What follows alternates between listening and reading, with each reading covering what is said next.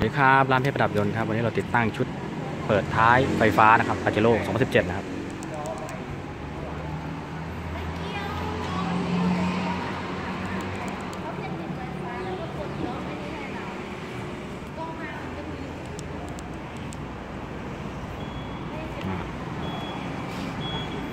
อันนี้เปิดด้วยรีโมทนะครับ แล้วก็ เดี๋ยวเราปิดด้วยรีโมทนะครับ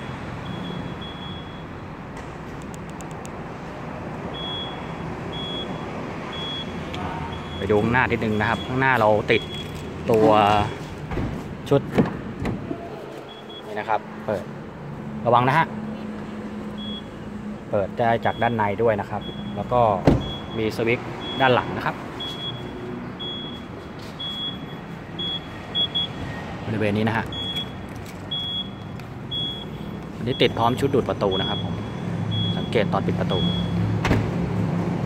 จะดูดเข้าไปอีก มากครับ สวัสดีครับ